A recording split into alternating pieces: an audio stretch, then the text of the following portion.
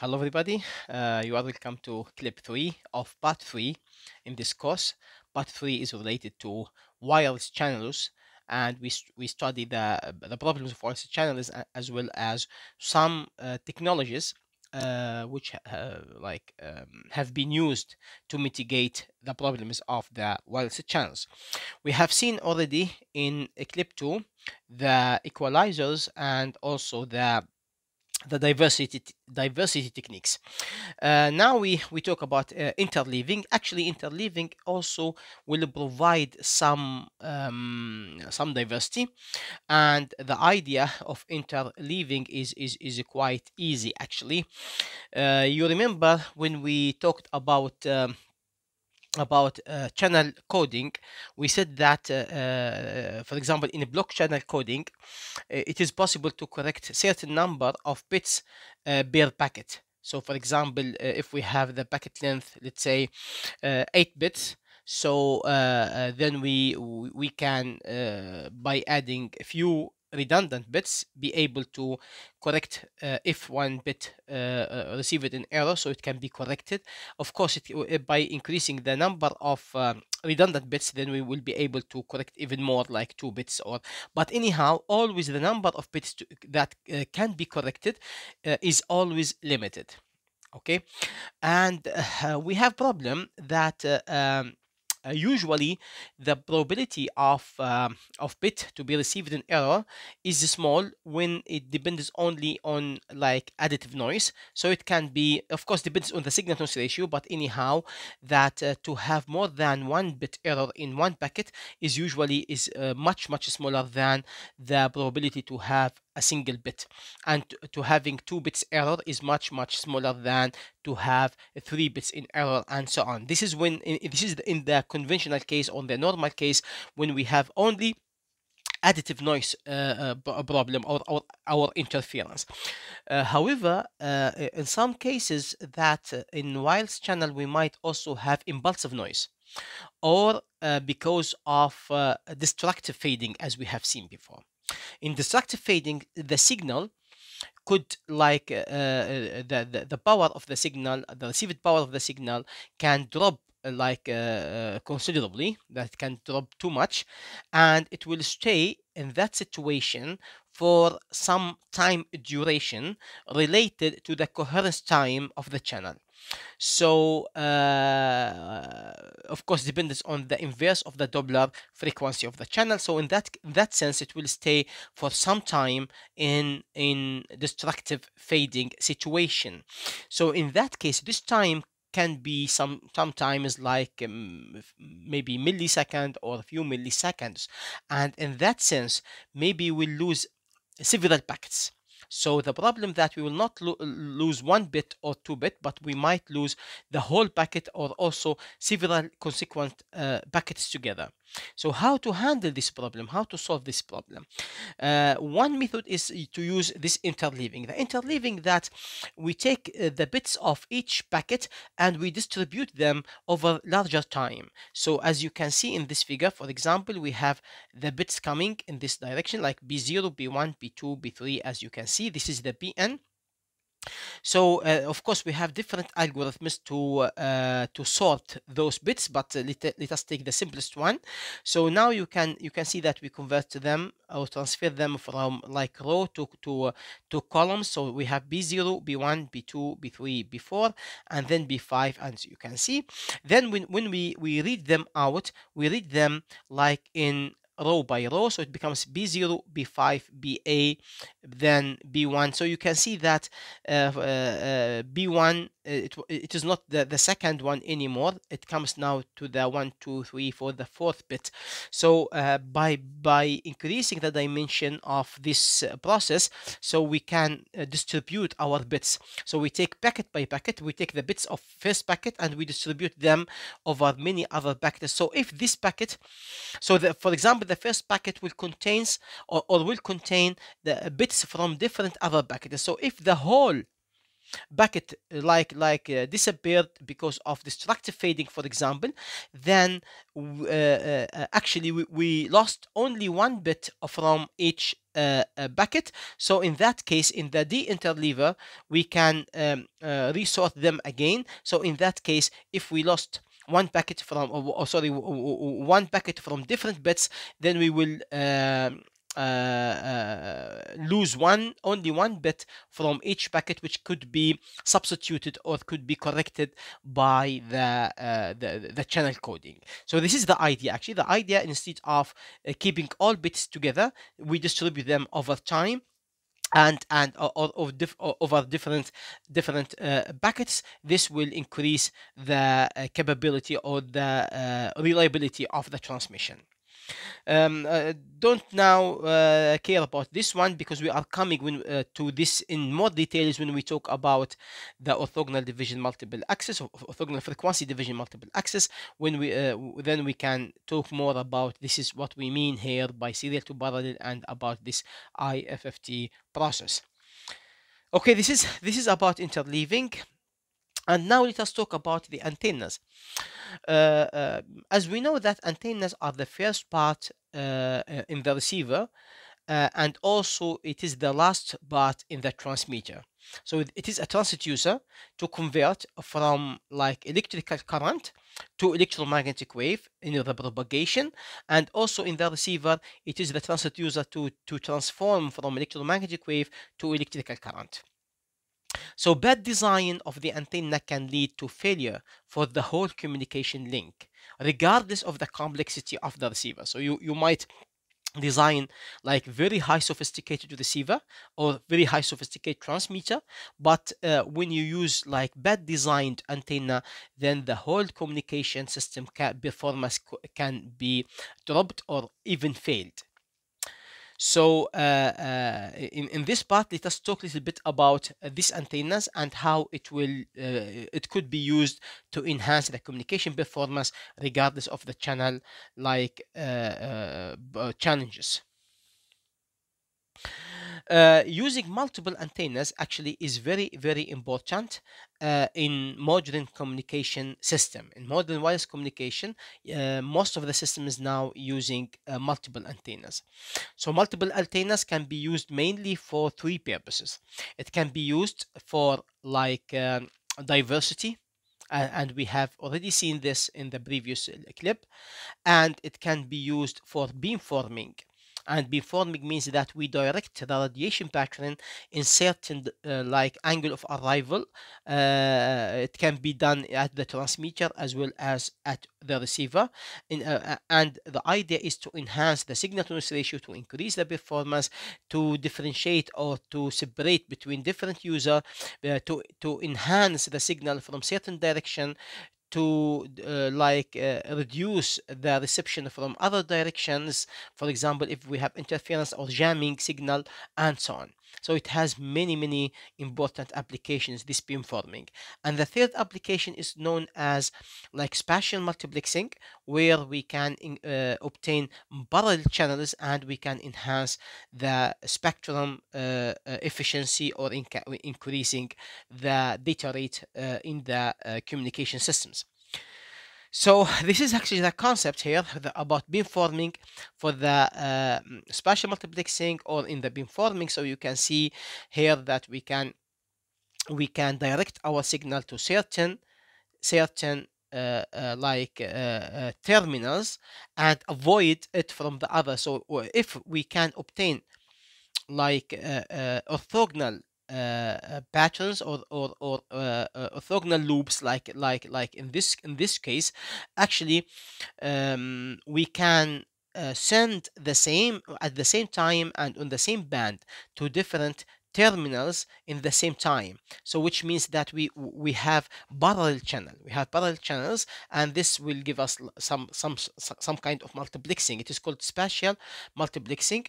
Um, uh, actually it will increase the total capacity of the, uh, in in the uh, communication link it is, by the way, this is one of the major uh, um, like uh, technologies used in 5G and also in LTAA uh, LT, LTE, sorry, LTE advanced, and also in the 5G networks to enhance the the uh, bit in those systems, and also it is used in uh, the uh, new generations of Wi-Fi, like Wi-Fi 5 and Wi-Fi 6, and also Wi-Fi 7 is coming. So most of them they they they use um, MIMO antennas in order to enhance the the the data rate.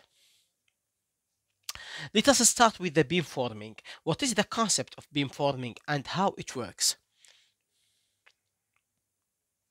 The idea of the beamforming that we use multiple antennas and we use, uh, we use also adaptive weights because as we will see later that uh, the signal phase at each antenna the phase of the signal at each antenna depends on the arrival the angle of arrival of the signal. For example if we have one user here and we have another user here okay?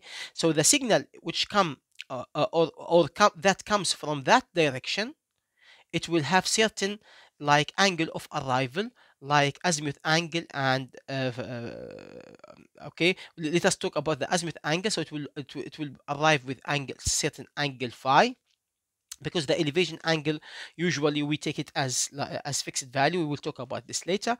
And this will comes like angle phi 1 and here we have angle phi 2 the interesting part in this multiple antenna that we can approve that uh, uh, the phase shift at each antenna of the signal depends on this uh, angle of arrival. Okay, then by using some adaptive complex weights, we can enhance the reception from certain angle and depress the, the, the reception from other angle. So we can enhance the signal from, from for example, uh, uh, terminal 1 and we can like reduce the signal from terminal 2. So it seems that, that it, this is actually virtual this is virtual uh, uh, like uh, radiation pattern. It will be like these antennas will be directed to this only to this user and this one cannot get access to the network because this is the receiver for terminal one. So this interference has been depressed, has been like reduced by using this these multiple antennas. So we can we can control the beamform or the virtual pattern uh, radiation pattern of the antenna based on adjusting the adaptive weights of, of, of these antennas. As you can see that this is usually the wave comes as a plane wave and we assume that because when we are far away from the transmitter we can assume them like like the plane like in this in this way. So it depends on the azimuth angle you can see phi then we can control them over those uh, uh, antenna weights. Antenna weights are complex number. What is the meaning of complex number? Uh, basically means that we can add or reduce the phase, magnitude and phase. This means that magnitude and phase. So we can enhance the phase from certain direction because we know that the phase of the received signal depends on this phi. So in that case, we can enhance the phase of the certain angle and and uh, avoid uh, uh, uh other direction of arrivals. As you can see in this figure, so um, we have multiple antennas here. So each antenna has certain location. You can select any of those antennas as a reference antenna. For example, we select this black one as a reference, but it doesn't mean that it should be the first one here. It can be any of those. You can uh, mark them as 000 antenna, which means that your reference antenna. Now, uh, uh, the angle phase or the phase of the received signal will be shifted depends on the location of these other antennas compared with this reference antenna. For example, the phase shift at antenna M, for example, this antenna M, equal to beta. Beta is is the uh, uh, wave number is 2 pi divided by lambda. Lambda is the wavelength, which is equal to the speed of light divided by the frequency okay? And then will uh, it will be xm what is xm is the location of m antenna compared to the uh, to the uh, uh, reference antenna. Multiplied by cosine phi sine theta.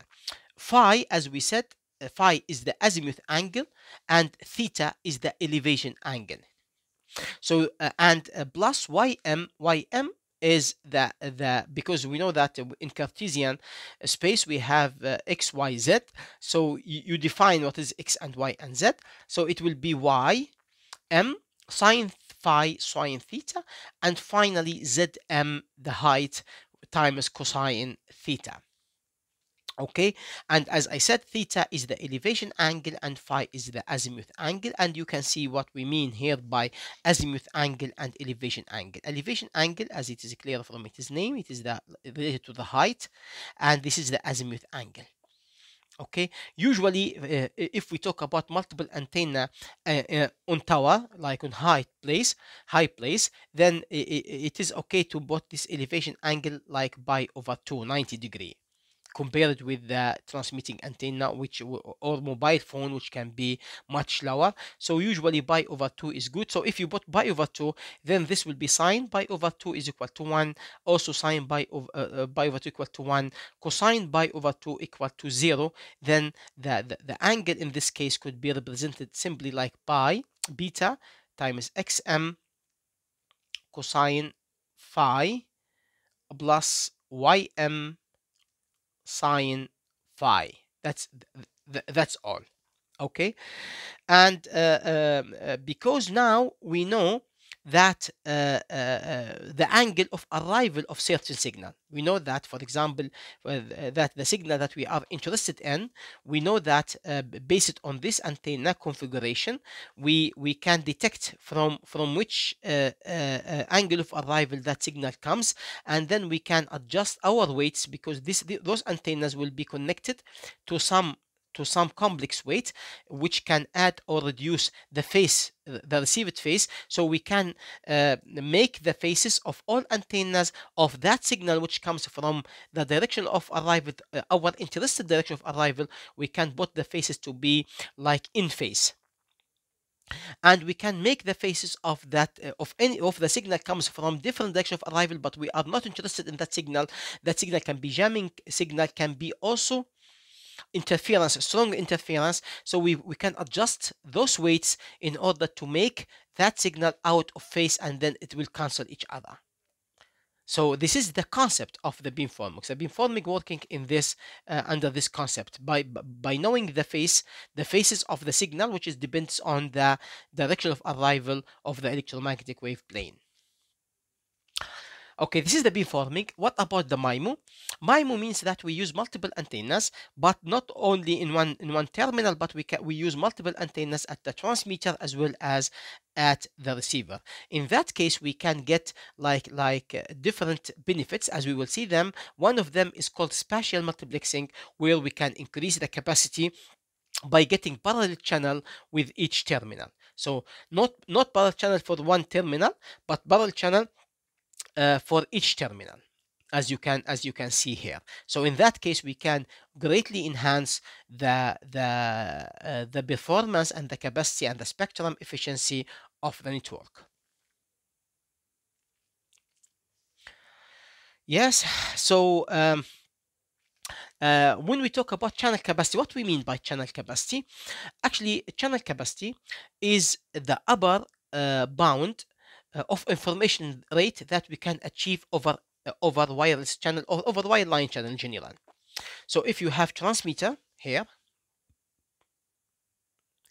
and you have channel and then you have a receiver okay and you have certain bandwidth that you can transmit your data okay in general, what is the upper bound of the data rate or the of, or of the information rate that you can send your data where it, it will be possible to decode it without error? That it is possible to use like decoding technique that you can decode this signal without without considerable error okay so in that in that case this this this general and very general and very abstract problem has been addressed by uh, uh, uh, Shannon it was, I think, maybe 70 years ago or more. so uh, uh, uh, he was able to to to address this this this uh, uh, general problem and in, in very like nice and delicate mathematics and he found that the, the upper capacity is given by this formula for, for a single channel. So the capacity is given by the available bandwidth, okay, times log 2, 1 plus the received power here, received power from the transmitter, divided by N0 is the noise spectral density. Remember that N0 equal to Boltzmann constant times what? Times the T effective noise temperature. Yes, times the bandwidth the available bandwidth. As you use more bandwidth, then more noise will be absorbed or will be seen at the receiver side, which will reduce the capacity. Okay, and um, mm, uh, this is actually the upper bound. So in order to increase uh, this, the, the, the result will be in terms of bits per second okay? So if for example you can you can just use um, some calculations. For example if you have bandwidth equal to uh, 10 kilohertz the received power let's say is, is equal to 1 uh, uh, uh, microwatt and you have n0 you have certain bandwidth then you can calculate what is the upper bound. The upper bound this this means that uh, uh, this capacity cannot be exceeded okay? This, this is the upper bound per single channel. So don't think to get more than this this capacity as bits per second okay? So this is the upper bound and and actually at the time when shannon uh, discovered or or or uh, uh, derived this equation um, uh, they were suspicious because because at that time the achieved uh, information rate over channels were much much less than this upper bound uh, I don't remember now the numbers uh, uh, in, in, in certain figures, but but just in general, for example, for certain channel, uh, wireline channel, uh, based on his equation, for example, it, it would be possible to achieve, let's say, 300 uh, kilobit per second. at that time, the, the, the, upper bound they were achieving maybe one kilo or something. So he, he mm, he expected that it could be like 300 times more or 400 times more. It could be done uh, after using more sophisticated coding, encoding and coding techniques. And actually, this is what happened. But nowadays, we are quite close to this to this upper bound with, with the new uh, technologies. Yes. So this is actually the upper bound, and and you can see that in order to duplicate the capacity, in order to duplicate the capacity, you need what what you need to do. Mainly, you need to duplicate the bandwidth and also duplicate the transmitted power. Because if you duplicate the transmitted power it will be 2b and this will be 2bw so 2 cancel 2 so nothing happened here but it will duplicate the capacity. Actually the increasing in the transmission power will not increase the capacity that much because it, it is under uh, inside this logarithmic equation which means that you need to increase the power a lot in order to duplicate the capacity. This i can leave this as an exercise for you for example, if BW is fixed, okay, and zero is fixed, and I ask you question, uh, uh, uh, if you trans if your transmitted power it gives like certain BR, okay, let, let, let us say that BR equal to one microwatt, for example, how much power that it must be increased the received power in order to duplicate the capacity you can find that it is not enough to just duplicate the received power. You need to increase the, the, the, received power much in order to to to duplicate the capacity. But but for the bandwidth is much easier that you increase the bandwidth. However, increasing the bandwidth is not is not is not uh, straightforward because, as we mentioned before, the bandwidth is is the the most uh, scarce uh, uh, resources, and we should be very very careful in using the bandwidth, especially if we are talking about uh, the conventional or the low uh, frequency up to five 5 gigahertz because as we mentioned before, that uh, most of that uh, band is already licensed and uh, you might have very small band that you can use. And actually, even the increasing the power is not uh, is not available for free because all the standards they have some upper also uh, transmit power that you can use so uh, uh the story is not is not easy to solve in this case uh, or the problem is not easy to solve to increase the capacity. So you we need always to think uh, about other methods to increase the capacity.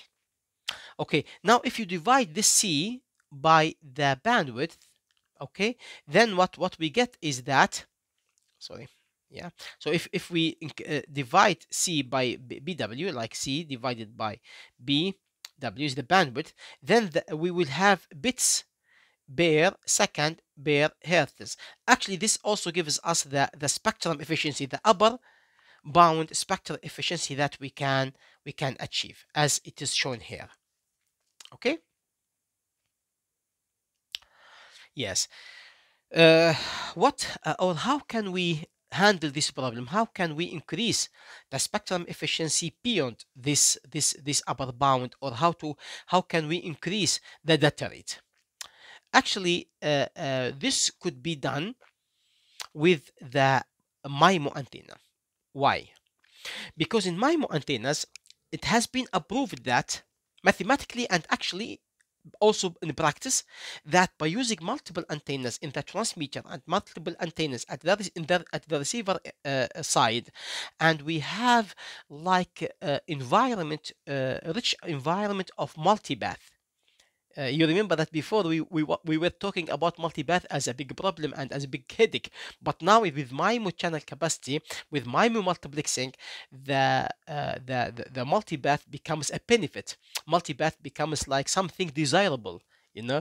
And uh, because of this multipath it is possible now to get like orthogonal channels. So uh, in this way so you can see Uh, uh, if we use multiple antennas in the transmitter part and multiple antennas at the receiver part and then when you transmit over this this antenna so that this signal will, will reach to all antennas. So it will be like h11 it means that the channel between antenna 1 and receiver antenna 1 H12 means that, that the, the, signal comes from from this antenna from antenna to to to, to Y1 it depends on the uh, subscript how you define which one the first is for the transmitting or for the receiving antenna. And then finally but uh, if you look to this so the first was for the receiving antenna. So the final one is HNR nt. So N, nt is the number of antennas at the transmitter side, nr is the number of antennas at the receiver side. In this case, we can we can have like like matrix of of the channel between the transmitter and the receiver. Actually, by using proper MIMO coding and MIMO decoding, or it, it can be also named as a spatial time coding uh, technique, we will be able to see like parallel channels parallel channels so we we, we, can uh, like resolve this matrix into orthogonal matrix or into like diagonal matrix uh, more accurately diagonal matrix. So it, it will be like like parallel channels. Of course the number of parallel channels is not it doesn't mean that it is uh, directly that full. So um, in general the the possible number of parallel channels is less than the minimum number of the antennas. So for example, just for example, if the number of transmit antenna is four antennas and the number of receiving antenna is eight antennas, in this case, the maximum number of parallel channels that we can see between the transmitter and the receiver is four. So this is the maximum number. The maximum number is always like like uh, uh, upper bounded by the minimum number of the antennas between the transmitter and the receiver. Is it guaranteed that we will get four parallel channels in this case? The, the answer is no. It depends also on the environment itself. Is it very rich environment of multipath, environment Rayleigh channel? Is it Rayleigh channel with multipath? There, there are some certain conditions here in order to get full parallel channel. And actually, of, even for those parallel channels, there are some channels which has uh, much higher like like capacity than the other channels okay? So in general in general this is the the, the, the received signal based on the transmitted signal and and this is actually the capacity the instantaneous capacity that we can that we can obtain okay so the MIMO capacity actually we can put it in this form. So this is the spectrum efficiency actually the capacity divided by the bandwidth available bandwidth is the summation. Why we put summation? It is like summation of parallel channels but remember that we transmit in the same time and in the same band which means that we have like parallel channels for free just by using multiple antennas at the transmitter and multiple antennas at the receiver then we enhance the capacity of the system that much. So it is very great like uh, uh the, the, technology. Um, uh, it is one of the like amazing uh, techniques applied in the advanced and modern telecommunication systems. So remember that this is important to remember that multipath we uh, with MIMO with with with this um, spatial multiplexing techniques we transfer the multipath from being a headache from being a problem to a benefit where it gave us a lot of free capacity that we can we can use okay so this is the capacity this is this is that uh, uh, here we we we, we didn't like uh, optimize for the transmit power at each antenna we just we take the power of at the transmit antenna we divide it into the number of transmit antenna evenly okay? And then this is this will be the the the uh, uh, received power of course here we assume it normalized system but in general here it should be also multiplied by the channel gain okay? Or sigma For actually. It should be multiplied by sigma k. Uh, should be multiplied by sigma k. Sigma k is the uh, related to the uh, uh, eigenvalue of the channel of the square of the channel. But anyhow or, or, or, singular value decomposition of the of the channel. But we will not go in that in that details right now. But remember here i think it was it was maybe in the previous yes yes. This one sigma sigma uh, k square so it, it is not there so it should be there as well or we use the channel gain. It represents actually the channel gain for every like parallel channel. Okay?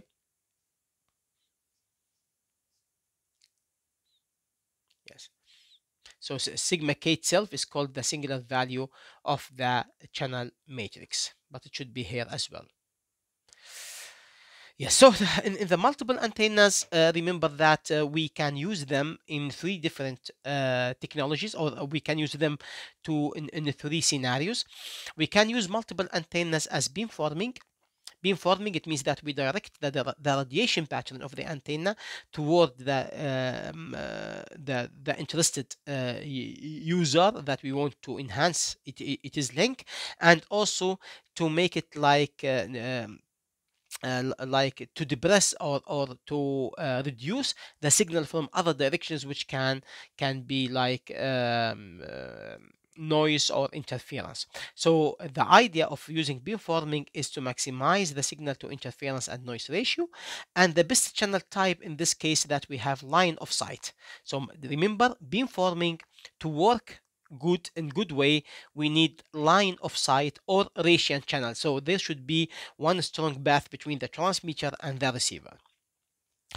Okay in case of Rayleigh channel that we don't have line of sight and we have just non-line of sight environment then the best thing is to use MIMO uh, channel or spatial multiplexing where we can get parallel transmission and we, then we get higher data rate we, we get much higher spectrum efficiency and the third application or scenario is using multiple antennas for diversity as we have seen already where we can uh, uh, we can have higher uh, performance lower bit error rate lower packet losses by increasing the reliability and increasing the the the or, or minimizing the outage of the system by using multiple antennas. So the best channel type in this case of course in, in non-line of sight and fading channel or in radiation channel so it works in, in, in wider applications the diversity we have transmitter diversity and but but most likely or most of the system are based on receiver diversity but we have also transmitter diversity especially